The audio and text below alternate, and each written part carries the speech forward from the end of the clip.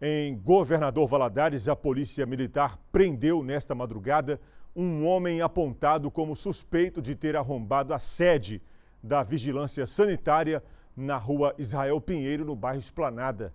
Ele foi abordado por um vigilante particular que imediatamente chamou a polícia ao encontrar com ele uma sacola com vários objetos novos, inclusive um notebook e três tablets.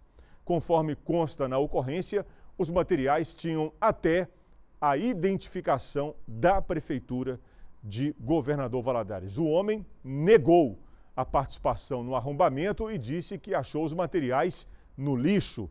O sargento da PM, Joviniano Matina, participou dessa ocorrência e tem outros detalhes.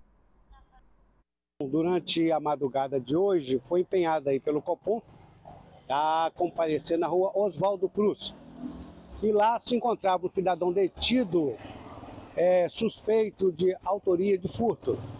No local, a guarnição tomou conhecimento, junta, juntamente com os segurança, que dentro dessa sacola de cor preta que estava com esse abordado, havia algum material da vigilância sanitária. Em conversa com esse cidadão, esse relatou que haviam achado esse material em um ponto de lixo. Diante da eh, fala desse cidadão, meio estranha, né? O cidadão foi trazido até a delegacia para prestar esclarecimento.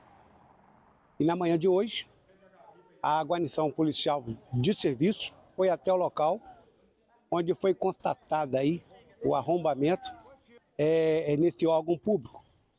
Cidadão preso, materiais apreendidos, conduzido até essa delegacia.